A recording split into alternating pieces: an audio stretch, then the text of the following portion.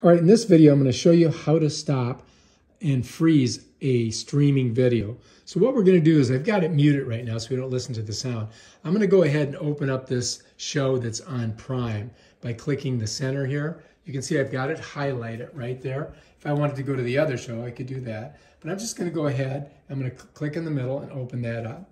All right, and then I'm going to hit resume right there. I'm going to hit the middle and it's going to play it. You can see it's muted.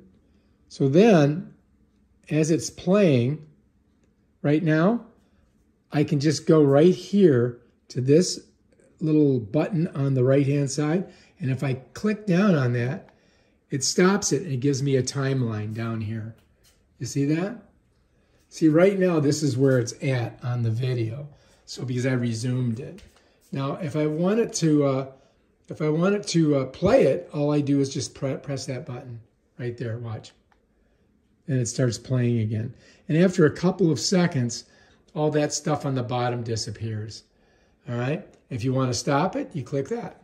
Bam, there it is, it stopped. And you can see this in the middle, that's telling you that it stopped. And that's how you, uh, you can move it. Now, let's say I want to go backwards. What I could do when it stopped like that, I just click on the left side of this circle and look, it lets me take it backwards. All right. So I'm just clicking here and then I just hit stop right here. Bam, stops it right there. And it's going to come to that spot in there. Now let me go ahead and stop it right here so you guys can see. Well, I might have to wait for it to do this part here. So when you do that, what happens is it takes a couple seconds. So I'm going to go ahead and click right here and stop it. As you can see, look at the timeline. I pulled it all the way back from here, right? So let's say I want to go forward on the timeline.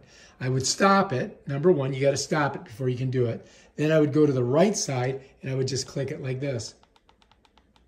So I'm just clicking right side, right? And you can see that little ball moving. You see the ball down there? Watch. So let's say I just go ahead and keep clicking, keep clicking till I get it where I want it. And I think I ended up somewhere right around here. And then if I'm good with that, I'm just going to click this little key right there. Watch. Bam. And then it's going to take a while for it to get back there. Yep, it's starting to, it's almost there. Let's get back in here. So then once it, once it opens up, there it is. Now I'm just going to stop it right here for a second. And you can see it moved, we moved it up to here. It was back there. So that's how you move it forward. All right, to reiterate, what you have to do is you've got to stop it first. So if I press this button here, it'll stop it, and it's going to give me a timeline right there. Then if I want to move on that timeline either forward or back, if I want to go backwards, I'm going to press the left side. And you see that little ball moving back. And then if I'm good there, I just hit it right here to stop it and then it's going to play right there. Okay? I think it's going to play right there. I don't know. See, we'll see in a second. Okay, there it's playing.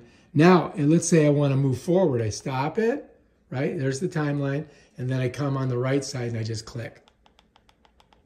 And you can see the ball moving forward. So I'm, I'm advancing. And then all I got to do, if I like that, I'm just going to click there and it's just going to start playing.